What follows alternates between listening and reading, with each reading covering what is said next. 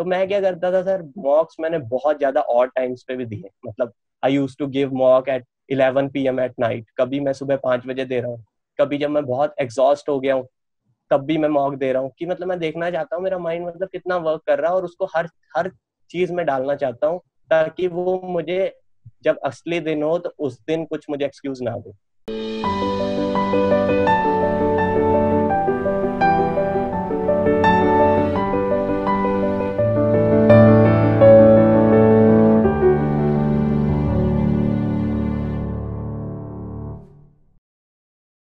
Hello everyone, I am Kapil Katpal, an educator on Academy, and I welcome you all to the Camomile TV Toppers and Initiative with An Academy. आज हम मुलाकात करेंगे एक ऐसे person से जिन्होंने हाल ही में IBPS PO 2019 as well as IBPS clerical भी एग्ज़ाम क्लियर किया है इन्होंने अपनी मेहनत से इन्होंने अपनी लगन से इस एग्ज़ाम को क्लियर किया और क्या रही इनकी जर्नी कैसे इनको कौन कौन सी मुश्किलें आई और कैसे उनका सामना करके आखिरकार इन्होंने अपनी मंजिल को पा लिया उसी के बारे में आज इनसे चर्चा करेंगे। तो चलिए मुलाकात करते हैं रवि जी के साथ।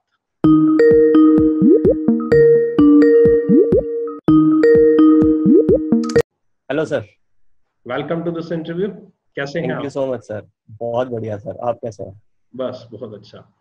ओके सो रवि किस बैकग्राउंड से आप बिलोंग करते हैं आपने क्या किया अपनी स्टडीज़ में वो बताइएगा I have done my graduation in electronics and communication engineering in 2016 and then worked in corporate for two and a half years as a territory manager. But uh, looking at the chaos in the telecom industry, I decided to to quit my job and prepare for these government exams. तो initially काफ़ी दिक्कत आई थी because तीन चार साल अगर आप छोड़ के वापस तैयारी पे आते हैं तो आपको सब कुछ स्क्रैच से स्टार्ट करना पड़ता है। तो इनिशियली काफ़ी दिक्कतें आई सर ओके सो कौन से ईयर में स्टार्ट किया कहाँ से आपने अपनी जर्नी को स्टार्ट किया कौन सा पहले सर सबसे पहले ये हुआ कि 2019 के स्टार्ट में मैंने अपनी जॉब क्विट की और इनिशियली जो मैंने गलतियाँ की उसमें सबसे बड़ी गलती ये थी कि मैं मुझे यही नहीं पता था कि मैं तैयारी कौन से एग्ज़ाम की कर रहा हूँ? मतलब I was doing randomly everything and मैं रेलवे भी दे रहा था एसएससी भी दे रहा था बैंक बैंक का भी दे रहा था। तो वो गलती थी कि बहुत रैंडमली किया बट जैसे जैसे टाइम आगे बढ़ता गया, मैं मेहनत तो कर रहा था बट उसके रिज़ल्ट नहीं आ रहे थे। तो बैंकिंग जब दे रहा था तो I have failed many exams like S B I P O two thousand nineteen L I C A A O E P F O R R B P O R R B clerk और भी F C I R R B J so I have failed many exams but वो believe था और उसके बाद जब right direction मिला तो उसके बाद काफ़ी सिलेक्शन हो गए सो so, आपने 2019 में ही अपने प्रिपरेशन स्टार्ट की थी banking yes, January to January mid 2019 तो, तो आपको लगभग लगभग हम कह सकते हैं कि आठ दस ग्यारह महीने में आपका सिलेक्शन क्योंकि मेंस एग्ज़ाम हमारा नवंबर में था और इंटरव्यू हमारा जनवरी में अभी यस सर यस सर ठीक है। तो आपने अपनी जर्नी के बारे में स्टार्टिंग से बताया। अब मुझे बताइए कि बेसिकली जब आपने इनिशियल किया इस तैयारी को तब आपको सबसे बड़ी मुश्किल आपने जैसे कहा कि मुझे समझ में नहीं आ रहा था कि कैसे तैयारी करूँ क्या तैयारी करूँ। तो कहाँ से आपको ये पता लगा कि आखिरकार बैंक एग्ज़ाम की मुझे तैयारी करनी चाहिए और यही मेरे लिए राइट बात है? बेसिकली थोड़ा सा केयरलेस था तो रिसर्च ज़्यादा नहीं की थी तो इसलिए पता नहीं चल रहा था कि कौन सा एग्ज़ाम देना चाहिए और क्या मतलब किधर सबसे ज़्यादा अपॉर्चुनिटीज़ है, किधर क्या है? तो बाद में जैसे जैसे धीरे धीरे आपको पता चलता है कि जब आप मैदान में आ जाते हैं तो आपको सीख जाते हो कि उसके बाद आप यूट्यूब पे भी आपको नोटिफिकेशन आ जाती है, सारी चीज़ें पता लगने लग जाती है। तो it was like August I would say August tenth 2019 जब SBI क्लर्क का मेरा मेंस था। एंड SBI क्लर्क का ही मेरा पहला प्री निकला था। उस मेंस को पेपर देने के, आने के बाद मुझे रियलाइज़ हुआ कि यार बैंकिंग के एग्ज़ाम्स हैं जो कि सबसे ज़्यादा अपॉर्चुनिटी देते हैं और इतने टफ नहीं है जितना कि मतलब माना जाता है। तो उसके बाद मेरे को रियलाइज़ हो गया था और अगस्त टेंथ के बाद I was extensively preparing for banking and insurance तो जब फोकस जब हमारा लेजर शार्प फोकस होता है तो तब चीज़ें थोड़ी आसान लगने लग जाती है। और इसके अलावा जो पहली गलती थी वो थी कि रैंडमली कर रहा था चीज़ें एक्शन प्लान वगैरह कुछ नहीं बनाया हुआ था। तो उसकी वजह से भी थोड़ी दिक्कत थी सर पर बाद में हो गया सो so, एक बिगिनर को आप क्या सजेशन देना चाहेंगे कि मान लीजिए आज मैं एक बिगिनर हूँ और मुझे नहीं पता कि कौन सा फ़ील्ड मेरे लिए बेटर है। चलिए मैं कहता हूँ कि मेरे लिए बैंकिंग बेटर है। तो उसको कहाँ से स्टार्ट करना चाहिए अपने प्रिपरेशन को ताकि आगे जाके उसको ऐसा ना लगे कि हाँ ये मैंने गलती की थी ये मुझसे गलती होगी मेरा टाइम वेस्ट होगा। तो स्टार्टिंग से उसका टाइम वेस्ट ना हो। ऐसी कौन सी चीज़ पिक करनी चाहिए उसको कि स्मूथली उसकी जर्नी चलती रहे। क्योंकि आपकी जर्नी आपने बताया जैसे जनवरी से स्टार्ट हुई बट बहुत ज़्यादा फ्लक्चुएटिंग रही। फाइनली जाकर आपको अगस्त में समझ में आई यानी कि तब तक आठ महीने बीत चुके थे। राइट तो आठ महीने के बीच में आपने कितने सारे एग्ज़ाम फेल हुए। तो यही गलतियाँ बहुत सारे कैंडिडेट्स भी करते हैं कि हाँ इधर उधर ध्यान देते हैं और फोकस नहीं हो पाता। तो क्या आ, उनके लिए सजेशन देंगे आप? उनके लिए बेसिकली तो मैं यही कहूँगा कि सर सबसे पहले अपना अगर आपको पता चल चुका है कि बैंकिंग ही आपकी फ़ील्ड है जिसमें आप तैयारी करना चाहते हैं। तो सबसे पहले तो सिलेबस देखिए। मैंने मतलब एक्चुअली वो भी नहीं देखा था इनिशियल टाइम में। तो सबसे पहले सिलेबस देखिए। फिर अगर हम सब्जेक्ट वाइज बात करें तो उस सिलेबस को पता होना चाहिए और फिर टॉपिक बाय टॉपिक जाके सारा कुछ कवर करना चाहिए। थोड़ा सा रिसर्च कर लें। जैसे मुझे भी, जैसे मैंने जो गलतियाँ की I am already writing it on Quora तो ताकि काफ़ी एक्सपीरियंस को फ़ायदा मिलने लग जाए। तो वहाँ पे मैंने काफ़ी डिटेल में मतलब डिस्कस किया हुआ है। तो सब्जेक्ट वाइज अगर हम स्टार्ट कर दें तो सब्जेक्ट वाइज जैसे अब तीन सब्जेक्ट हैं इसमें क्वांट इंग्लिश और रीजनिंग तो क्वांट के अगर हम बात करें तो सबसे पहले जो प्री रिक्वेसिट्स हैं, जैसे क्यूब्स हो गए थर्टी तक और स्केयर्स हो गए फिफ्टी तक परसेंटेज टू फ्रैक्शन हो गए, ये मतलब बिल्कुल रटी हुई चीज़ें होनी चाहिए। मतलब नींद में भी कोई पूछे तो ये बता देनी चाहिए इंसान को। उसके बाद सर जो जो डेल जो प्रीलिम्स में जो आने ही आने शॉर्ट शॉर्ट क्वेश्चन है, उनकी प्रैक्टिस होनी चाहिए सबसे डेली बेसिस पे। और जो अरिथमेटिक है, उसके हर दो दो, तीन तीन दिन में एक एक चैप्टर करके दो महीने के अंदर अंदर वो सारा सिलेबस हो जाना चाहिए। ऐसे ही मतलब रीजनिंग में भी यही है कि जो सबसे मतलब रीजनिंग में तो टॉपिक्स ही काफ़ी कम है, सात, आठ टॉपिक्स हैं, और फिर उसके बाद आ जाती है पजल्स तो पजल्स में लोगों को दिक्कत आती है काफ़ी। तो पजल्स वगैरह के लिए जैसे मैंने तो अंकुश लांबा सर की जो फ्री वीडियोस होती हैं अन अकेडमी पे, वो देखी थी, उनके अप्रोच को देखा कि कैसे हिंट्स वगैरह को हम नोट करते हैं पजल को पढ़ के। तो उसके बाद वो जब अप्रोच डेवलप हो जाती है तो puzzle is like easy cake walk for everyone तो यही है। और उसके अलावा इंग्लिश की अगर बात करें तो इंग्लिश में मैं मतलब इतना अच्छा नहीं था इनिशियली बट धीरे धीरे I am like falling in love with falling in love with this subject. आपका बैकग्राउंड इंग्लिश से है या हिंदी मीडियम से? है English he but I was not that comfortable with English when I started my preparation but today I am absolutely तो चलिए सबसे पहले इंग्लिश की मैं बात पूछना चाहूँगा आपसे कि इंग्लिश स्टूडेंट्स कहते हैं कि पोर्शन में बांटते हैं like the grammar is there reading comprehension is there और the vocabulary part is there many things are there बहुत सारे क्वेश्चन उसमें आते हैं। तो क्या कैसे एडवाइस करोगे? सबसे पहले कौन सी चीज़ है जो उठाओ जिससे आपका बेस स्ट्रॉन्ग हो इंग्लिश का? और जस्ट वो कहते हैं ना बोल साई इंग्लिश में बोल साई मतलब कहाँ पर ऐसा क्लिक करना चाहिए? कहाँ पर वो चोट मारनी चाहिए? क्या इंग्लिश का इंग्लिश में आपके अच्छे मार्क्स हैं? ये ना हिंदी मीडियम के पॉइंट ऑफ़ व्यू से सोचकर बताना कि हाँ यार हिंदी मीडियम के बच्चे हैं। बहुत सारे बच्चे हैं यार बेचारे परेशान रहते हैं कि यार हिंदी हिंदी हिंदी मीडियम से सर पहले तो वो डिप्रेस रहते हैं। कि सर हिंदी मीडियम से हैं तो कैसे होगा? ठीक है। काफ़ी इंग्लिश मीडियम वाले इंग्लिश मीडियम वाले ओवर कॉन्फिडेंट रहते हैं कि हाँ मैं तो इंग्लिश मीडियम से हूँ। ठीक है तो मेरी इंग्लिश क्या बिगाड़ लेगी? तो थोड़ा उसके बारे में मुझे बताओ कि कहाँ से एक स्टार्ट करना चाहिए बेसिक इनिशियली इंग्लिश मेरा भी सर वो होता था थोड़ा वीक सब्जेक्ट होता था। तो उसके बाद जो बेसिक सबसे जो मेन चीज़ है वो काफ़ी इट साउंड्स क्लीशे बट यही सबसे इम्पोर्टेंट है कि आपको रीडिंग स्टार्ट करनी पड़ेगी। तो जो इनिशियल जो बिगिनर्स हैं उनको मैं हमेशा यही कहता हूँ कि read less but read that less very very well जो भी आप पकड़ के पढ़ रहे हैं चाहे नोवेल पढ़ रहे हैं चाहे आर्टिकल्स पढ़ रहे हैं दिन के चाहे आप चार आर्टिकल पढ़िए बट उन चार आर्टिकल के नेक्स्ट स्टेटमेंट मतलब एक स्टेटमेंट को पढ़ के नेक्स्ट स्टेटमेंट पे जब मत कीजिए अगर आपको वो पहली स्टेटमेंट सेंस नहीं कर रही है Good. तो रीडिंग मतलब आपको डेली बेसिस पे एक डेढ़ घंटा जितना भी हो सके read less but comprehend more तो यही सबसे मेन जो आप कह रहे हो कि बुलजाई हिट करनी चाहिए। तो रीडिंग ही है सबसे जो मेन इंपॉर्टेंट पार्ट प्ले करती है। और जो डायनामिज्म जो सर बैंकिंग में अभी है एग्ज़ाम्स में तो इंग्लिश एक ऐसे स्टेज पे है अभी कि जहाँ पे रीडिंग ही सबसे ज़्यादा इम्पोर्टेंट है। और बाकी जो सेकेंड और थर्ड एस्पेक्ट है वोकैब और ग्रामर तो वो कैब के लिए सर मैंने वर्ड पार मेड इजी अभी अच्छे से पढ़ ली है। तो उसमें मतलब इटेमोलॉजी मतलब कि जो रूट वर्ड्स होते हैं, उसके हिसाब से आपको सिखाते हैं कि कैसे आपको रूट वर्ड से मोर वर्ड्स बनेंगे। और वो वो कैब मतलब डेवलप करने के लिए ही बनी है। Word power made easy by Norman Lewis इसके अलावा ग्रामर तो ग्रामर मैंने सीखी है पूरी निहारिका जॉन मेहरा मैम से अन अकेडमी पे। पहले उनके इनिशियली फ्री क्लासेस देखी, फिर उसके बाद प्लस भी लिया।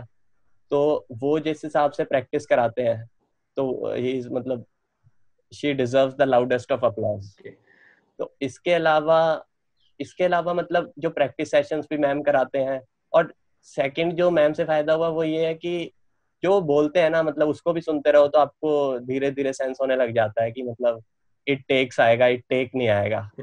तो वो ग्रामर भी मतलब ऐसे ही इम्प्रूव होती रहती है। तो इंग्लिश का यही है और मेन चीज़ है कंसिस्टेंसी इंग्लिश में। अगर आप डेली प्रैक्टिस कर रहे हैं जो आने ही आने हैं चीज़ें तो यही है। और इसके अलावा रीडिंग इज़ मस्ट मतलब इट्स रीडिंग में मैं अगर पॉइंट ऑफ़ व्यू सोचूं ना स्टूडेंट के पॉइंट ऑफ़ व्यू से सुबह उठाकर चाहे मैं एडिटोरियल पढूं ठीक है एडिटोरियल में पढ़ना चाहूँ या लैपटॉप पे पढूं या ऐप में पढूं एडिटोरियल बोरिंग सा नहीं लगता यार सुबह से उठाकर या शाम को जब भी पढ़ूँगी बोरिंग सा नहीं लगता पढ़ते पढ़ते नींद सी आने लग जाती है एडिटोरियल पढ़ते पढ़ते यार क्या मैं पढ़ रहा हूँ? मतलब मैं जानता हूँ नाइनटी परसेंट स्टूडेंट्स की मेंटेलिटी यही होती है दस लाइन पढ़ी नहीं यार बोरिंग सा नींद आ रही है दूसरा सब्जेक्ट उठा है ना? तो इस चीज़ का कोई सोल्यूशन है क्या? इस चीज़ का जो मैंने सोल्यूशन थोड़ा बहुत निकाला इनिशियली बहुत दिक्कत आती थी sir I can relate what you are saying तो जब दिक्कत आती थी तो रात को यही सोच के सोता था कि जो पहली चीज़ है ना सबसे पहले मैं मतलब जो मुश्किल चीज़ है वही पकड़ूँगा। तो इंग्लिश चाहे मतलब नहीं पढ़ी जा रही but you have to sit there for one and half hour जिससे मतलब you have to be boring and you have to be consistent if you want to achieve तभी तो सर वो 90 परसेंट को थोड़ी सी दिक्कत आती है सिलेक्शन लेने में, और जो 10 परसेंट आप कह रहे हो कि जो पढ़ लेते हैं तो वो इंग्लिश में मतलब बहुत लीड ले जाते हैं मतलब in the mains the mains exam आपको भी पता है सर जीए और English are the game changers तो यही है कि मतलब you have to be consistent मतलब there is no magic boring लगेगा बोरिंग लगेगा लेकिन करना पड़ेगा। हाँ, करना ही पड़ेगा मतलब। If it was easy everyone would do it sir या या ये बात भी है। फिर कट ऑफ़ इतनी हो जाती। मतलब बिल्कुल sir right right right English की वजह से लोग जो अच्छे होते हैं वो आराम से निकल जाते हैं। कई कई सर जो रीजनिंग और मैथ्स में काफ़ी अच्छे होते हैं बट वो इंग्लिश की वजह से रह जाते हैं। And there are many I have seen many people in IBPS PO mains because वो चौदह नंबर के आसपास कट ऑफ़ गई थी तो a lot of friends of mine जिनका सिर्फ़ इंग्लिश की वजह से रह गया and overall they are scoring around 90 marks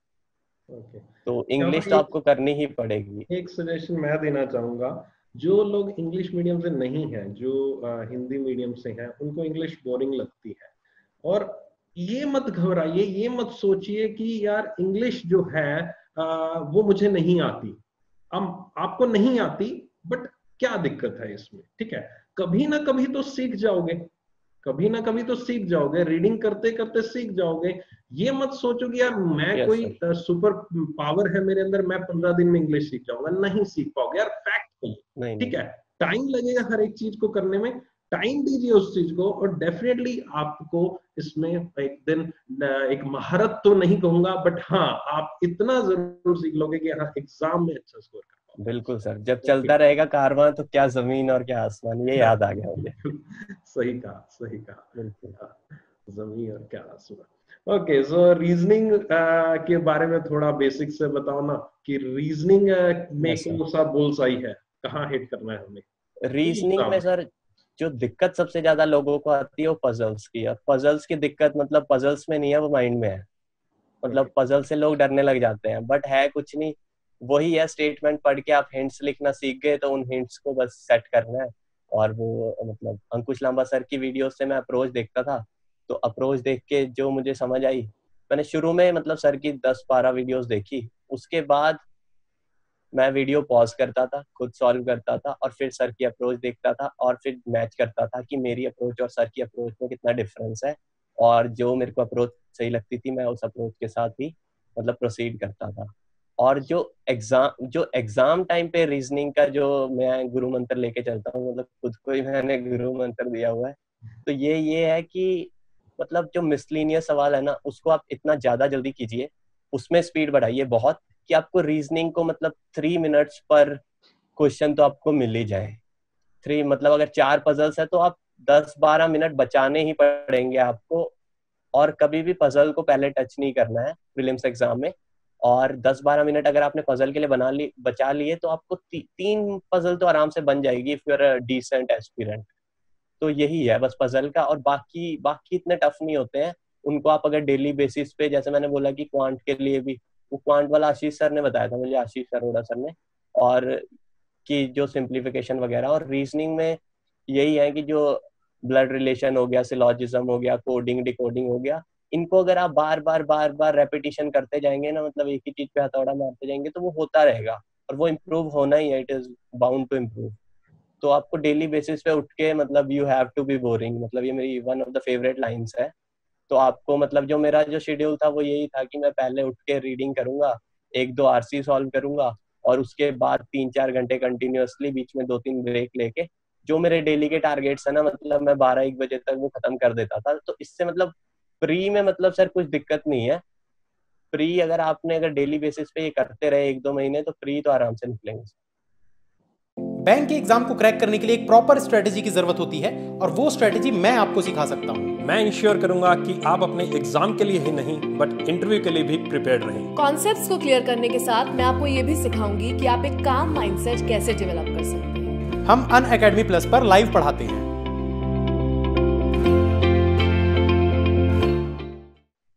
okay so अब क्वांट के बारे में आपने बताया रीजनिंग के बारे में इंग्लिश आपका प्री सब्जेक्ट तो आपने मुझे बता दिए।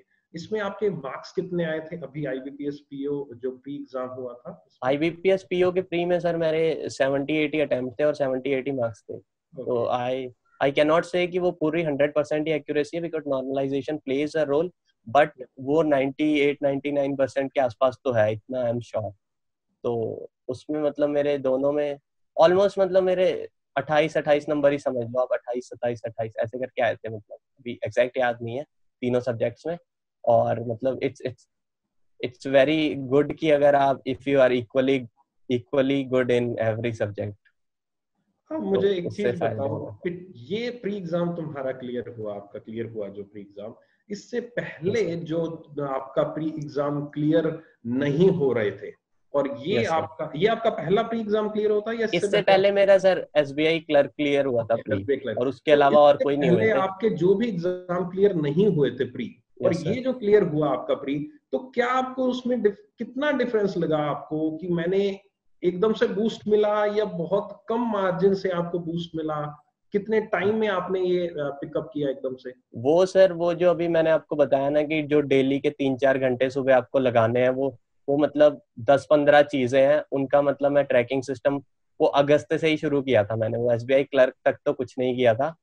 उसके बाद जब वो चीज़ें मैंने करने लगी तो वो स्पीड इतनी बढ़ गई कि मतलब क्या क्या चीज़ें आप क्या एक बार थोड़ा सा मुझे मैं आपको बता देता हूँ जितनी भी चीज़ें मेरे को अभी याद है। Simplification approximation quadratic equation missing number series wrong number series DI दो तीन डीआई के सेट और जो बाकी जो ऊपर बताए वो दस दस बारह बारह सवाल उनके। उसके बाद हो गया जो रीजनिंग की बारी आ गई तो ब्लड रिलेशन ब्लड रिलेशन तीन चार पजल्स सिलॉजिज्म चार पाँच, और डायरेक्शन सेंस और मतलब एक दो चीज़ें और है। वो, ये मतलब मैंने कोरा पे काफ़ी डिटेल में लिख रखा है इन चीज़ों के बारे में। और इंग्लिश की बारी आए तो तीन चार रीडिंग कॉम्प्रीहेंशन सॉल्व करने हैं, और पाँच छह एडिटोरियल्स पढ़ने हैं, और फ्रेज रिप्लेसमेंट हो गया फिलर्स हो गया ऐसे करके ना एडिटोरियल्स इतने आप पढ़ने का आपको समय मिल जाता था इतना पाँच छह एडिटोरियल्स पढ़ लेते थे एक दिन में आप। पाँच एडिटोरियल्स मतलब पाँच आर्टिकल्स है। तो छोटे छोटे आर्टिकल्स होते हैं। तो दो तीन सुबह पढ़ लिए दो तीन शाम को पढ़ लिए। आर्टिकल्स ही पढ़ने हैं मतलब छह डिफरेंट न्यूज़पेपर्स नहीं मैं कह रहा हूँ। सिर्फ़ छह आर्टिकल पढ़ो दो दो बार पढ़ो उनको जब तक आपको कॉम्प्रीहेंड पूरा ना हो तो। राइट राइट राइट तो यही है सर तो अब तो यही डेली चीज़ें हैं तो इन्होंने डिफरेंस क्रिएट किया। ओके तो प्री एग्ज़ाम का तो आपने बताया मैंने ये किया। तो क्या आप प्री एग्ज़ाम के आ, के साथ साथ मेंस एग्ज़ाम को भी लेकर चलते थे? या अकेला प्री पे आपने फोकस किया और फ्री फिर प्री के बाद आप मेंस पर स्विच किए? ये वाली गलती SBI clerk mains SBI clerk में की थी कि प्री के बाद ही मेंस का स्टार्ट किया था और वो पेपर सिर्फ़ सात आठ नंबर से रह गया था। तो मैंने सोचा कि मतलब आठ दस दिन की तैयारी से ही मतलब मैं इतना अच्छा कर पा रहा हूँ। तो अगर मैं साथ साथ ही करूँगा तो कितना अच्छा होगा। तो उसके बाद जो भी गलतियों से सीख मिली तो उससे मैंने यही किया सर कि जैसे आपको बताया कि बारह बारह एक बजे तक तो मैं वही करता था। जो प्री वाला सिस्टम है, वो मैंने छोड़ा नहीं मतलब उससे आपकी स्पीड बहुत ज़्यादा इम्प्रूव हो जाती है। और उसके बाद मेंस के लिए मैं यही करता था कि जीए मेरे को मतलब बहुत अच्छा लगता है अभी। तो जनरल अवेयरनेस के लिए मैं गौरव गर्ग सर के वीडियोस भी देखता था, आपके पीडीएफ सर आपके वीडियोस भी देखता था स्टैटिक और उसके बाद जो जनरल अवेयरनेस के मैंने डेली तो सर मैं नोट्स नहीं बनाता था बट वीकली मैं नोट्स बनाता था और सैटरडे को मतलब नोट्स बनाता था वीकली और संडे को मतलब वो वापस पूरे रिवाइज करने और नेक्स्ट वीक को फिर से दोनों वीक्स के रिवाइज करने थर्ड वीकेंड को तीनों वीक के रिवाइज करने फोर्थ वीकेंड को चारों वीकेंड्स के और फिर लास्ट में एक बार फिर से पूरा करना। तो जो जनरल अवेयरनेस में है, जो मेंस तो मेंस में ये मेन रोल प्ले करता है, इसलिए मैंने आपको सबसे पहले जनरल अवेयरनेस का ही बताया, जैसे मेंस जैसी मेंस की बात आई। तो उसके बाद जो अगली बात आती है, वो आती है इंग्लिश की। इंग्लिश में कुछ डिफरेंट नहीं करना है और रीडिंग इतनी करनी है कि मतलब रीडिंग भी कहे कि मतलब क्या ही बात है। उसके बाद रीडिंग के बाद सर यही है कि जो अभी इंग्लिश का पेपर आता है मेंस का, उसमें ये रहता है कि आपको चाल, चालीस मार्क्स का आता है थर्टी फाइव क्वेश्चन आते हैं तो उसमें सात आठ क्वेश्चन ही दिखेंगे ग्रामर के। बाकी छोटे छोटे दो दो तीन तीन क्वेश्चन के रीडिंग कॉम्प्रीहेंशन दिखते हैं। तो अगर आपकी रीडिंग सही है आप कॉम्प्रीहेंड अच्छा कर रहे हो और जब कॉम्प्रीहेंड अच्छा करने लग जाते हो तो स्पीड भी फास्ट अपने आप हो जाती है कंसिस्टेंसी से मतलब कंसिस्टेंसी इज़ मैजिक तो उससे क्या होता है कि आपकी रीडिंग स्पीड अगर अच्छी है तो आप इंग्लिश में भी अच्छा स्कोर करोगे। तो I I use to score like eighty eighty five percent of the total marks in English मतलब जो भी पेपर हुए, जो भी मैंने दिए। उसके बाद अगर नेक्स्ट बात करें मेंस की मैथ्स की और रीजनिंग की तो इसमें तो आपको मॉक्स पे बहुत ज़्यादा डिपेंड रहना पड़ेगा। बाकी तो जो डेली बेसिस पे जो मैं करता था, वो तो यही है कि जब जब तक प्री का एग्ज़ाम नहीं होता था, तब तक मैं क्या करता था कि शाम को सिर्फ़ एक दो घंटे थोड़े से डिफ़िकल्ट सवाल करता था, जिससे मैं थोड़ा सा ऐसे मतलब मेंस का जो डर होता है ना इनिशियली बहुत डर होता है सर बट बाद में पता चलता है कि इतना भी मतलब डरावना नहीं है मेंस तो इनिशियली जो डर होता है वो अगर आप डेली बेसिस पे थोड़े थोड़े पाँच पाँच दस दस सवाल भी लगा रहे हो तो वो इजीली हो जाता है मतलब। क्योंकि रीजनिंग और मैथ्स में ये चीज़ है क्वांट में कि आपको कौन से करने हैं, ये तो पता होना चाहिए। कौन से स्किप करने हैं, ये सबसे ज़्यादा पता होना चाहिए। क्योंकि अगर आपने एक आधा ऐसा क्वेश्चन पकड़ लिया मेंस के क्वांट में, जो कि मतलब नहीं पकड़ना चाहिए था, जो ट्रैप था तो तो मतलब वही सवाल आपके तीस पैंतीस मिनट खा जाएगा और ये साल तो मतलब गया फिर। क्योंकि वो पाँच सात नंबर की कट ऑफ़ होती है क्वांट की वो भी नहीं क्लियर होती तो चूजिंग द राइट सेट्स वो बहुत इंपॉर्टेंट रोल प्ले करता है क्वांट और रीजनिंग में मेंस ये तुमने कहा कि चूज़ करना पड़ेगा। अब ये नेक्स्ट सवाल पूछूँगा कि कैसे चूज़ करें। अब देखो यार एग्ज़ाम हॉल में एज अ स्टूडेंट मैं तुमसे पूछूँगा कि एग्ज़ाम हॉल में बैठा हूँ, मैं पेपर दे रहा हूँ, सामने मेरे सामने क्वेश्चन है अब मुझे पता कैसे चलेगा? मैं पहले ही घबरा रहा हूँ मैं पहले ही माइंड मेरा सही लेवल पे नहीं है। एक काम सिचुएशन नहीं होती। हमें पता है हम लोग एग्ज़ाम देते काम सिचुएशन में नहीं होते बहुत ही होच पोच सब कुछ तो अगर इतना क्या माइंड हमारा एकदम से आएगा कि मैं चूज़ कर पाऊँ? एक डिसीज़न मेकिंग है ना? Decision making always we to use to see कि हम बहुत आराम से ले डिसीज़न बट हाउ कैसे उस टाइम आपने चूज़ करते थे आप? ये चूज़ तो सर उन क्वेश्चंस उन पजल्स उन डीआई सेट से हमारी फैमिलियरिटी कितनी है, उस पर बहुत डिपेंड करता है। तो फैमिलियरिटी कहाँ से आएगी? जो आपने प्रैक्टिस की है। So the the more you sweat in peace the less you bleed in war तो यही है कि आपकी कितनी फैमिलियरिटी है सब उन क्वेश्चन से। तो आपके मतलब आप सवाल का चेहरा देखोगे तो सवाल खुद ही कह, बता देगा आपको कि मैं तुमसे बनूँगा या नहीं बनूँगा। इस जितना भी टाइम हमारे पास है उसमें मैं तुमसे बनूँगा या नहीं बनूँगा? तो फेमिलियरिटी है और कंसिस्टेंसी है। तो कंसिस्टेंसी बार बार बोल रहा हूँ क्योंकि यही है sir banking exams is another name of consistency यही कहना चाहता हूँ कि बस यही ओके okay, सो so अब मॉक्स के बारे में बात करते हैं कि आखिरकार कितने मॉक्स कैसे कैसे देते थे प्री के कब देते थे मींस के कब देते थोड़ा सा इसको डिटेल में बताओ मुझे। जो अगर मॉक्स की बात करें तो अगर प्री की सबसे पहले बात करें तो कोई भी एग्ज़ाम है तो कम से कम 20 20 25 मॉक्स आपको प्री के तो देने ही पड़ेंगे। और जैसे ही एग्ज़ाम पास आता था, जैसे मान लो 20 25 दिन अभी रह गए हैं तो एक एक मॉक देते रहो, और फिर जैसे ही पास आए, दस दिन रह गए तो दो दो मॉक पर डे दो इसके प्री के। और मेंस के सर दस से पंद्रह मार्क्स और लेकिन जो मेन चीज़ है, वो मतलब कितने मार्क्स आप दे रहे हो, उससे सिलेक्शन नहीं होता है। तो आप कितने अच्छे से एनालाइज कर रहे हो उन मार्क्स को, जो उन मार्क्स से आपके लूप होल्स आप आइडेंटिफाई कर रहे हो, उनको कैसे आप रिमूव कर रहे हो तो उस चीज़ पे डिपेंड करेगा कि आप कितना अच्छा परफॉर्म करने वाले हैं एक्चुअल एग्ज़ाम्स में। कई बच्चे कहते हैं कि हमारे मॉक्स के मार्क्स इंप्रूव नहीं होते। तो वो यही करते हैं कि सर वो मॉक देते हैं, नहीं हुए थोड़ा सा दुख मना लेंगे अच्छा हो गया तो खुशी मना लेंगे और फिर नेक्स्ट मॉक पे मूव हो जाएँगे। मतलब इन दिस इसमें मैं यही कहता हूँ कि मतलब किसी को ज़्यादा ऐसे ना इमोशनल नहीं होना चाहिए अपनी प्रेपरेशन जर्नी में, कि मतलब थोड़े कम मार्क्स आ गए तो हम दुखी हो गए, अच्छे मार्क्स आ गए तो वी गेट ओवरवेल्म तो वो चीज़ नहीं होनी चाहिए और उस पर एनालिसिस पे ध्यान देना चाहिए। मॉक्स इज़ नेवर टू मतलब कि दुख, खुशी मनाओ। आप मॉक्स इसलिए होते हैं कि आप थोड़े बहुत एक्सपेरिमेंट करो, अपनी स्ट्रेटेजी सॉलिडिफाई करो और वही स्ट्रेटेजी आप मतलब एक्चुअल एग्ज़ाम में लगाओ। तो और जो सर, सबसे जो मैंने अच्छी चीज़ की है मॉक्स में मतलब I am so proud of myself इस चीज़ के लिए। वो ये है कि मतलब मैंने एक्सटर्नल सर्कमस्टांसिस को मतलब रिमूव ही कर दिया था। मतलब मुझे बिल्कुल प्रेशर फील नहीं होता था जब मैं एक्चुअल एग्ज़ाम्स में जाता था। इसका रीजन यही है कि कई बार क्या होता है कि जैसे हम एक्चुअल एग्ज़ाम देने जा रहे हैं तो हम मतलब मान लो आपको अच्छी नींद नहीं आई और बहुत मोस्टली केसेस में होता है कि अच्छी नींद नहीं आती है एग्ज़ाम से पिछले दिन। थोड़ी सी एंजाइटी रहती है। तो मैं ये समझ गया था ये चीज़ बहुत पहले कि ये दिक्कतें आने वाली है और आपका माइंड आपको एक्सक्यूज ज़रूर देगा उस दिन। कि भाई नींद नहीं आई थी, इसलिए दिमाग नहीं चला। या फिर आफ्टरनून शिफ्ट है तो खाना खा लिया था, इसलिए नींद आ रही थी। तो मैं क्या करता था सर मॉक्स मैंने बहुत ज़्यादा और टाइम्स पे भी दिए। मतलब I use to give mock at eleven P M at night कभी मैं सुबह पाँच बजे दे रहा हूँ, कभी जब मैं बहुत एग्जॉस्ट हो गया हूँ, तब भी मैं मॉक दे रहा हूँ। कि मतलब मैं देखना चाहता हूँ, मेरा माइंड मतलब कितना वर्क कर रहा है और उसको हर हर चीज़ में डालना चाहता हूँ, ताकि वो मुझे जब असली दिन हो तो उस दिन कुछ मुझे एक्सक्यूज ना दे।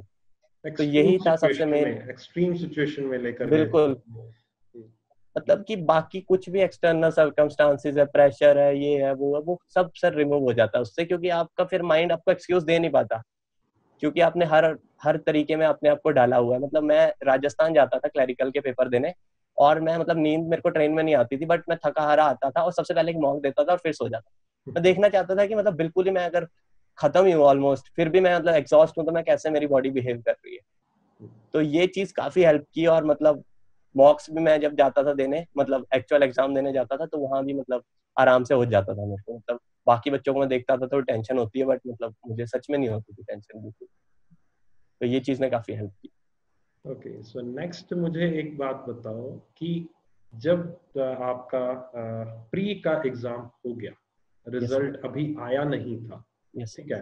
तो एक फीलिंग आती है कि क्या मैं मेंस की तैयारी पे ज़्यादा फोकस करूँ या प्री एग्ज़ाम पे ही फोकस करूँ? क्योंकि आने वाले हमारे एग्ज़ाम बैक टू बैक होते हैं। बिल्कुल बिल्कुल। Right, बहुत सारी opportunities like the mains exam जब आपका नवंबर में था तो जस्ट उसके तुरंत बाद नेक्स्ट मंथ आपका क्लैरिकल का प्री एग्ज़ाम था इन बिटवीन भी आपके आरआरबी के एग्ज़ाम मतलब मिक्सर चलता रहता कोई ना कोई एग्ज़ाम आगे पीछे आता रहता। है तो वो चीज़ को कैसे हैंडल किया कि आखिरकार मैं प्री फोकस करूँ मेंस फोकस करूँ क्योंकि वहाँ पर भी चूज़ करना काफ़ी इंपॉर्टेंट होता है। जब आपको सर, जैसे पहले ही चीज़ तो मैं ये बोलता हूँ कि जब प्री आप देने जाओ, तब भी आप कट ऑफ़ की मत सोचो और उसके बाद भी मत सोचो। और मतलब अगर जो मैंने अभी वो चार घंटे वाला शेड्यूल बताया था, अगर वो आप कर रहे हो तो आपका प्री मतलब ऑलमोस्ट सर्टेन है कि आपका क्लियर होना चाहिए अगर आप अच्छे से प्रैक्टिस कर रहे हो तो। दूसरी बात ये है कि सर, जो मतलब अगर प्री उसके बाद जैसे मेन्स आ रहा है कोई तो प्री का क्या है कि जो हम प्री वाला जो काम कर रहे थे ना, उसको आधा कर दो। और बाकी टाइम आप सिर्फ़ मतलब चार की जगह दो ही घंटे प्री को दो और बाकी सारा दिन आप मेंस पे लगाओ। जीए की रिवीजन करो। GA is all about frequent revision मतलब एक दो सोर्स यूज़ करो क्विजेस करो पीडीएफ पढ़ लो और अपने नोट्स नोट्स सबसे ज़्यादा इंपॉर्टेंट होते हैं। तो कितने आप फ्रीक्वेंट रिविजन कर रहे हो जीए को? तो जीए आपको उतना ही मतलब बहुत अच्छा बेनिफिट देते हैं जीए तो ये हो गया। और दूसरी चीज़ है कि जीए को बहुत अच्छे से पाँच छह बार रिवाइज करना है। पहली चीज़ ये। दूसरी चीज़ ये है कि मॉक मेंस के देने लग जाओ और बहुत सारे सवाल स्किप करते हैं पेपर में। तो वो वाले सवाल जो स्किप किए हैं, उनको भी दोबारा सॉल्व करना ही उतना इम्पोर्टेंट है जितना उनको एनालाइज करना जो हमने गलत कर दिए। तो ये चीज़ होती थी जो मेंस के मॉक्स और GA frequent revision and English reading that's all मतलब I never complicated it much कितना टाइम लगता था मीन्स के मॉक को एनालाइज करने में? क्योंकि ये सब एक इम्पोर्टेंट चीज़ होती है कि मॉक्स तो मॉक तो कर लिया मैंने। ठीक है, उसको एनालिसिस करने में बहुत कई लोग करते हैं एनालिसिस बट बहुत समय लगा देते हैं, बाकी चीज़ों के लिए टाइम ही नहीं बचता उनके लिए। तो मैक्सिमम कितना समय, एक आइडियल टाइम कितना होना चाहिए? सर इट इट डिपेंड्स कि वो मॉक कैसा और आपका वो मॉक कैसा गया और वो उसका लेवल क्या था और आपके परसेंटाइल क्या है और आपके कैसे मतलब मार्क्स आए हैं और आपके कितने सवाल जो सच में छोड़ने चाहिए थे, वही छोड़े हैं या फिर आपने मतलब जो इजी पिकिंग थी लो हैंगिंग फ्रूट्स थे, वो भी छोड़ दिए तो इस पे डिपेंड करता है। तो sometimes I use to take around one whole day for one mock लेकिन जो एवरेज टाइम था मेरा वो मतलब चार पाँच घंटे तो सर लगते ही है मेन्स के मॉक मॉक को आप अगर एनालाइज ढंग से करते हो तो। और वो बहुत अच्छा होता है मतलब तो ऐसा नहीं लगता था जब एक दिन पूरा लग जाता तब यार आज दिन वेस्ट हो गया मतलब रात नहीं, को नहीं रात को क्या यार सोते हो ये क्या हो गया आज तो मेरा दिन ही वेस्ट हो गया। Actually mains mains sir 80 percent depend ही आपके मॉक्स पे है। तो ये कभी फीलिंग नहीं आई कि मेंस का अगर मैं मॉक दे रहा हूँ और एनालाइज कर रहा हूँ तो मेरा टाइम वेस्ट हो रहा है। क्योंकि सर वही सवाल वैसे ही उसी लेवल के आते हैं। तो अगर आप यहाँ पे जितना स्वेट बहाओगे उतना ही ब्लीड कम करोगे जो एक्चुअल एग्ज़ाम है। ओके चलिए अब मेंस की बात हो गई हमारी। अब चलते हैं हम इंटरव्यू फ़ेज़ पे। ठीक है? तो जब रिज़ल्ट आया आपका, मेंस एग्ज़ाम का, उसके बाद जब इंटरव्यू था, एक चीज़ पहले बताओ कि आखिरकार इंटरव्यू की प्रिपरेशन पहले ही स्टार्ट कर दी थी कॉन्फिडेंस था, या नहीं, उस टाइम भी थोड़ा सा चल रहा था कि यार होगा, नहीं होगा होगा, नहीं होगा? सर, ये मतलब कॉन्फिडेंट तो मैं शुरू से ही हूँ कि मतलब अगर किया है तो अच्छी मेहनत की है तो मुझे मतलब अपनी मेहनत पे काफ़ी भरोसा रहता है। तो मैंने जैसे ही मेंस का रिज़ल्ट दिया था, उन्होंने उसके बाद ही स्टार्ट कर दी। मतलब रिज़ल्ट के बाद ही की एक्चुअली इसमें क्योंकि मुझे पता था सर कि वो 25-30 दिन तो देते हैं। और इंग्लिश की मतलब मैं स्पीकिंग तो काफ़ी अच्छे से मतलब धीरे धीरे धीरे रीडिंग करते करते जब मैं शाम को सर वॉक पे जाता हूँ ना मतलब डेली तो मैं ये चीज़ है कि मैं मतलब अपने आप से इंग्लिश में थोड़ी बहुत बात करता रहता तो मुझे पता था कि मतलब मेरी स्पीकिंग तो ठीक है, बाकी थोड़ा सा अपने को डिप डिगर करना पड़ेगा, थोड़ा सा अंदर झांकना पड़ेगा अपने। तो मैंने इंटरव्यू के लिए मुझे पता था सर मतलब एवरेज आपको ही पता है कि लास्ट में जैन लास्ट में शुरू होता है इंटरव्यू तो एक जनवरी को रिज़ल्ट आ गया था एक या दो जनवरी को पीओ मेंस का। तो नेक्स्ट डे से ही मतलब मैंने half of the day half भी क्या उससे भी ज़्यादा मतलब चार पाँच घंटे तो डेली देता था क्लर्क मेंस को और बाकी सारा टाइम देता था इंटरव्यू को। तो मतलब मैंने आपकी इंटरव्यू की क्लासेस देखी जो थोड़ी सी लेट स्टार्ट हुई थी मतलब इनिशियली नहीं हुई थी तो इनिशियली मैंने अपना मतलब जो प्री रिक्वेसिट्स थे वो कर लिए थे। वो क्या थे कि मैंने अपने टॉप पचास क्वेश्चन लिख लिए, ऐसे इधर उधर से सर देखा नहीं कहीं से, बस ये लिखा कि वो क्या क्या पूछ सकते हैं मतलब मैं हूँ कौन, मैं क्या करता हूँ, मेरा रोल मॉडल कौन है, मेरा क्या चीज़ क्या है? तो सब वो पचास क्वेश्चन पचास साठ क्वेश्चन हुए थे तो मैंने लिख लिए और कहीं से आंसर नहीं देखे और आंसर भी खुद ही लिखे। Yeah. और फिर देखा कि अब मैं क्या मतलब और कर सकता हूँ इसमें। और थोड़ा सा जो बैकग्राउंड था इलेक्ट्रॉनिक्स का वो पढ़ लिया और थोड़ा सा जो जॉब का था वो तो सर पता ही होता है क्योंकि वो तो मतलब प्रैक्टिकली सब कुछ किया हुआ है। उसके बाद जो सेकंड चीज़ है, वो है जो आपकी इंटरव्यू क्लासेस थी, उसमें ये था कि आपने जो डूज एंड डोंट्स थे, सब कुछ बता दिया दरवाज़ा खोलने से स्माइल करने से, सब कुछ एंड तक बताया। तो वो स्माइल वाला सर इतना काम आया कि मतलब वहाँ पे भी उन्होंने जैसे मैं एंटर हुआ तो ही द चेयरमैन सेड कि if you smile like this for the whole interview I will give you extra two marks तो आई आई सेड कि I will try my best तो वो भी अच्छा था कि जो छोटी छोटी चीज़ें हैं वो मतलब we do not realize when we are preparing but they are actually big things वो छोटी छोटी चीज़ें करके ही काफ़ी फ़ायदा हुआ। तो इंटरव्यू वाज लाइक ओके मतलब लोगों का छह सात मिनट हो रहा था मेरा दस पंद्रह मिनट। मैं आपसे डिटेल में पूछता हूँ पहले मुझे एक चीज़ बताओ जब आपका रिज़ल्ट आया था आईबीपीएस पीओ का तब आईबीपीएस क्लरिकल एग्ज़ाम भी था राइट आईबीएस क्लरिकल भी आपका मेंस का आपका जनवरी में था आई थिंक 19th या 20th है ना? 19 जनवरी 19 जनवरी को था। तो ये जो फ़ेज़ था काफ़ी मुश्किलें नहीं आई यार किधर फोकस करूँ? क्योंकि देखो मेंस एग्ज़ाम था मेंस क्लरिकल के बाद इंटरव्यू तो था ही नहीं। तो हमें पता था कि इसको मैंने हिट कर दिया मेरा फाइनल सिलेक्शन है। अब मेरा मुझे फोकस इंटरव्यू भी करना था। तो माइंड दो जगह नहीं चला यार। इधर तो मेरा सर्टेन है नहीं क्योंकि इंटरव्यू है क्या तक क्या होगा क्या नहीं होगा। बट इधर सर्टेनिटी है क्योंकि तुमने ऑलरेडी मेंस एग्ज़ाम को क्रैक किया था तुम्हें पूरा कॉन्फिडेंस था कि मेंस एग्ज़ाम तो मेरा क्लियर हो जाएगा। तो यहाँ पर कैसे हैंडल किया इन 20 दिनों को? तो क्लर्क मेंस तो मुझे इसलिए देना पड़ा क्योंकि मतलब एल असिस्टेंट में मैं वेटिंग पे था तो मेरे को क्लर्क मेंस देना पड़ा। तो क्लर्क मेंस सर ये था कि जीए तो सर मैंने छोड़ी ही नहीं उसके बाद। मतलब आई स्टार्टेड कि मेरे को इंटरेस्ट आने लग गया तो मैंने जीए करता रहा। और बाकी सर बेसिक्स अगर you stick to the basics तो क्लरिकल लेवल का क्वांट और रीजनिंग भी हो जाता है। तो मैंने सिर्फ़ मॉक्स दिए थे उस टाइम पे क्लर्क के क्लर्क मेंस के। और इंग्लिश रीडिंग भी मैं करता ही था और जो इंटरव्यू की प्रिपरेशन कर रहे थे, उससे भी इंग्लिश में काफ़ी हेल्प मिल। गई तो बाकी मतलब मेरा मेन फोकस यही था कि इंटरव्यू पे ही करना है मुझे।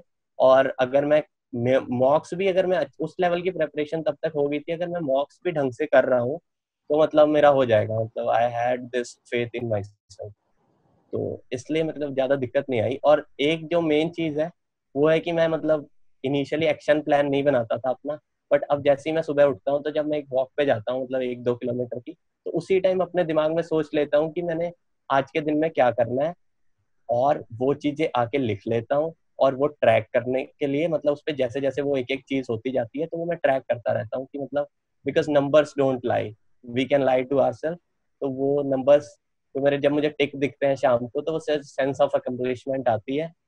तो मतलब तब मतलब ये अपने पे, खुद पे भरोसा होता है, अपनी मेहनत पे होता है कि यार कर तो रहे हैं तो होना भी चाहिए। और फिर वो इवेंचुअली हो भी गया। ओके सो अब इंटरव्यू पे चलते हैं। इंटरव्यू के बारे में मुझे बताओ। प्रिपरेशन तो तुमने बताया मैंने मेन अपने बारे में पॉइंट्स देखे। बेसिकली इंटरव्यू का मतलब यही होता है यार बाइफरकेट करें इस वर्ड को इंटर प्लस व्यू आपके अंदर झांकना है क्या आप है क्या आप अपने बारे में आपको बताना है सब कुछ यही है और कुछ नहीं है। बाकी जस्ट आपको करंट अफेयर्स इधर उधर से बर्निंग इश्यूज़ आपको देखने हैं। दैट्स इट ओके सो अब मुझे थोड़ा सा अपने इंटरव्यू के बारे में बताओ कि क्या रहा इंटरव्यू के दौरान? इंटरव्यू का एक्सपीरियंस शेयर करो। इंटरव्यू में एक्चुअली जब उन्होंने मुझे बोला कि आपको स्माइल करते रहना तो मैंने बोला कि मैं हाँ जी मैं करूँगा। वो कहते हैं अब तो फिर देखते हैं कि तू करता है कि नहीं। तो they they started putting me into pressure हाँ जी। तो पहला सवाल ही उन्होंने मेरे से ये पूछा कि आप बजट पढ़ के आए हो? तो मैंने बोला हाँ जी। तो फिर उसके बाद उन्होंने बजट पे चार पाँच सवाल पूछे और मैं आपका इंटरव्यू कौन सी डेट को था आपका इंटरव्यू मेरा इंटरव्यू एक्चुअली मेरी मेरे बर्थडे का फिफ्थ ऑफ़ फेब को। फिफ्थ ऑफ़ क्योंकि बजट जस्ट आया था तब ना? हाँ जी तो वो एक या दो तारीख को बजट आया था एक तारीख को। और उसके बाद एक दो क्वेश्चन उन्होंने इकोनॉमिक सर्वे से पूछ लिए मेरे से। उसके बाद उन्होंने मतलब बहुत देर तक मेरे को ना जॉब पे ही फंसा के रखा कि 90 परसेंट ऑफ़ द पीपल जब उनको बेटर जॉब मिल जाती है तभी वो जॉब छोड़ते हैं और आप जॉब छोड़ के तैयारी कर रहे हो। तो मतलब क्या आप ओवर कॉन्फिडेंट कैंडिडेट हो? मैं बोला sir I I know the thin line between over confidence and confidence और वो सेल्फ बिलीव था कि मैं अगर लगा रहूँगा तो कर लूँगा। तो उन्होंने बोला, ठीक है, लेकिन छोड़ी क्यों? तो मैंने बोला, सर थोड़ी सी सेफ़ और सिक्योर जॉब चाहिए थी। तो फिर वो उल्टा बोल रहे हैं कि मतलब तुम इनसिक्योरिटी फील कर रहे थे, उधर अच्छा काम नहीं कर रहे थे क्या? जबकि मैं अच्छा ही काम कर रहा था उधर।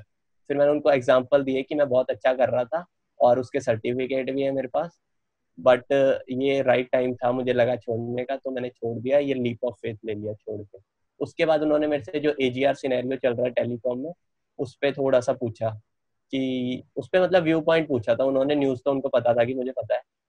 उसके बाद उन्होंने थोड़े से बेसिक सवाल पूछे कि आप बीटेक करके आए हो तो क्यों आपको बैंकिंग में आना है? ये पूछा। उसके बाद मैम ने एक सवाल क्या जवाब बीटेक बीटेक करके आए हो क्या जवाब क्या दिया बहुत कॉमन मुझसे भी यही बच्चे पूछते हैं जब इंटरव्यू क्लास होती है। सर सबसे पहले तो ये बताओ जब भी इंटरव्यू क्लास स्टार्ट होती है सबसे पहला क्वेश्चन यही होता है कि सर बीटेक करके हम बैंकिंग में क्या ये इसका आंसर दे दो।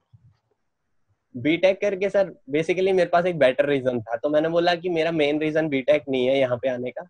जो मैंने जो अपने एक्सपीरियंस लिया है दो साल का मैं वहाँ पे टेरिटरी मैनेजर था। तो मेरी कस्टमर इंटरेक्शन भी बहुत होती थी और मैं मतलब एक बीस बंदों की टीम भी लीड कर रहा था।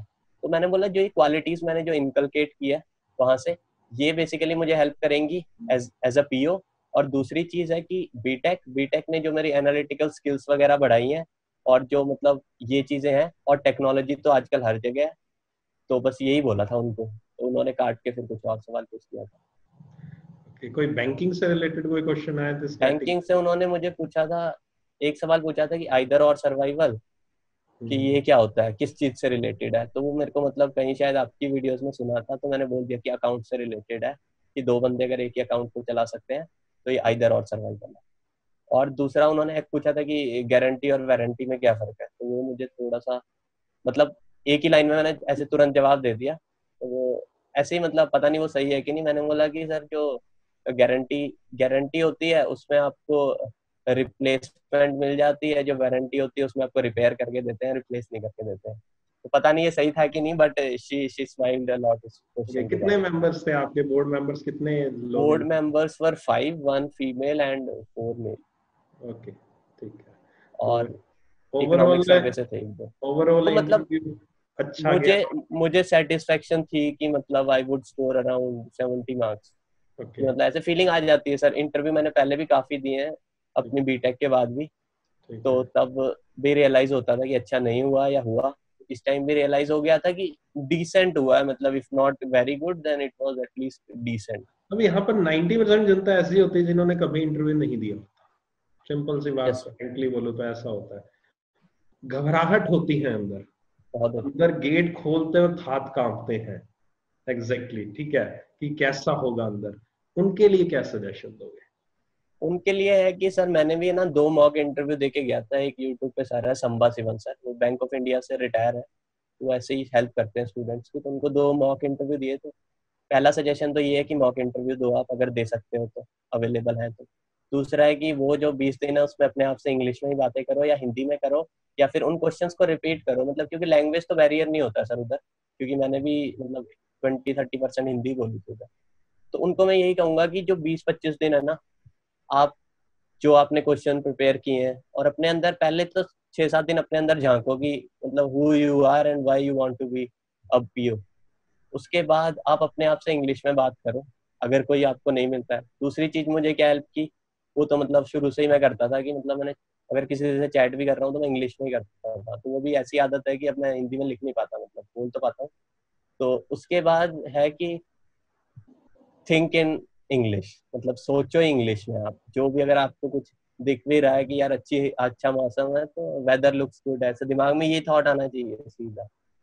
तो यही है कि अपने आप से जितना बात करके अपने आप को कॉन्फिडेंट फील करवा पाओगे वो चीज़ हेल्प करेगी इंटरव्यू में।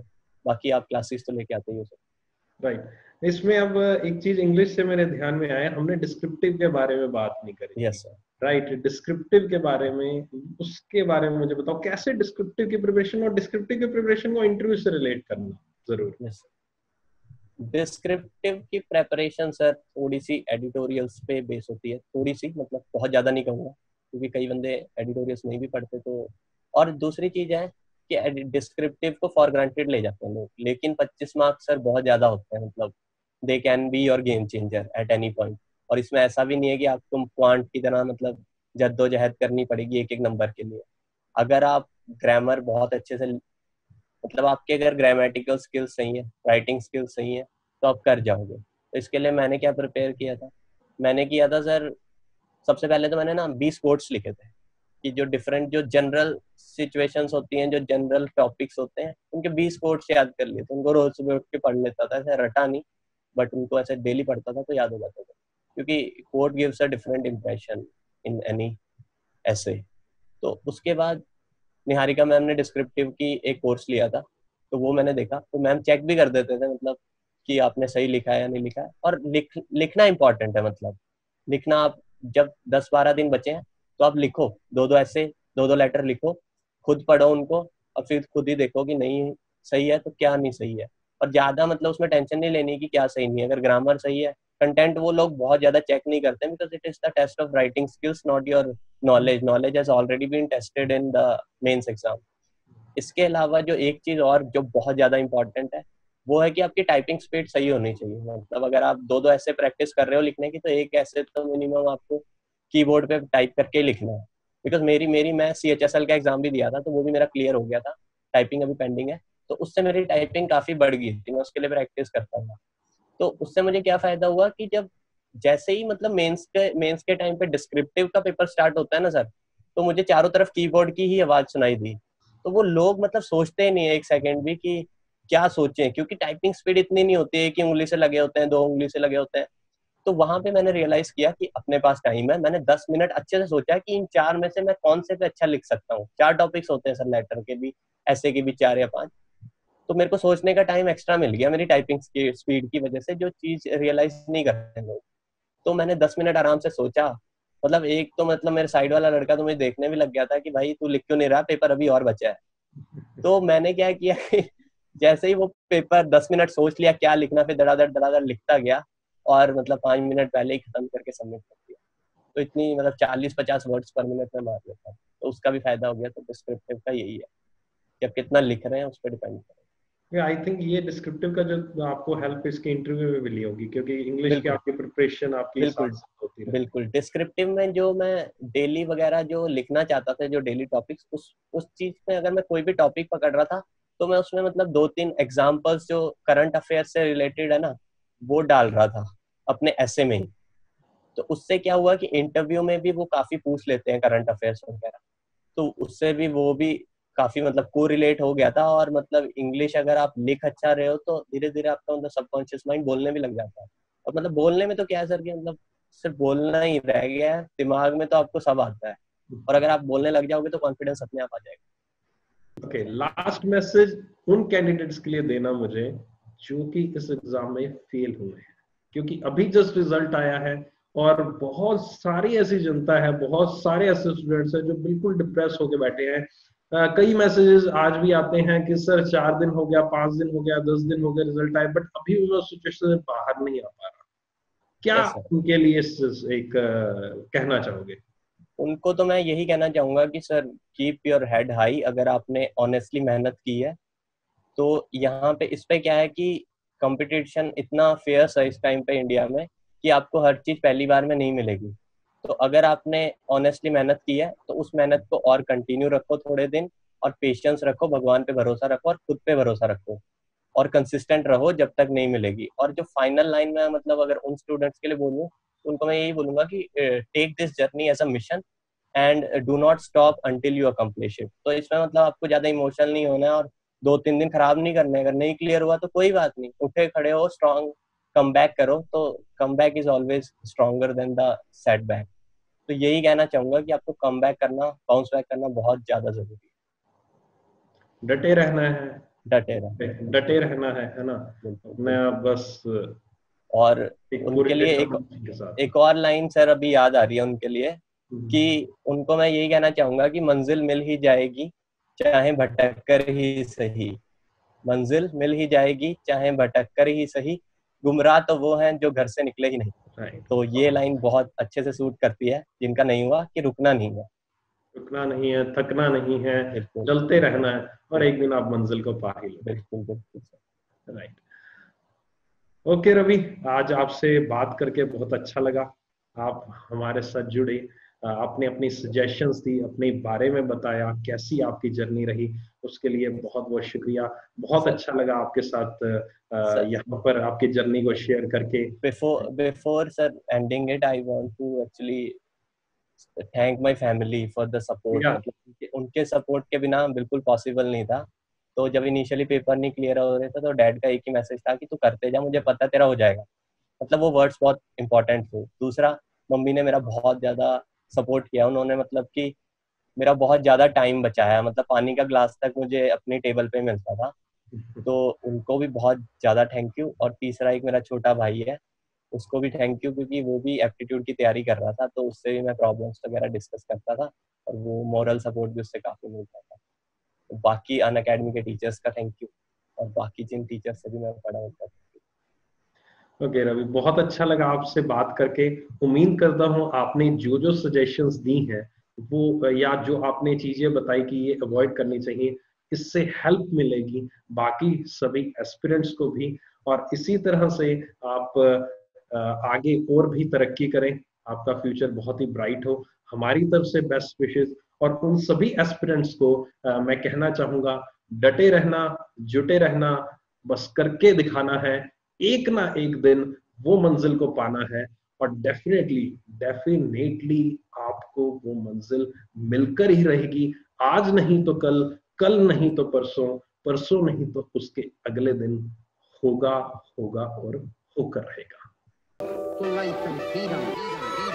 चल उठ जा लेट्स क्रैक इट ज़ोर दे लगा लेट्स क्रैक इट भीड़ को छोड़ दे लेट्स क्रैक इट रास्ते मोड़ दे लेट्स क्रैक इट चल उठ जा।